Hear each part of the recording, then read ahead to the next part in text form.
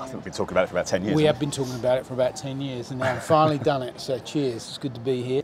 get a little bit ribbed in the industry for having such a large screen for my scopes, but I really like it. In the middle there we've got a Flanders. My trusty DM250 OLED.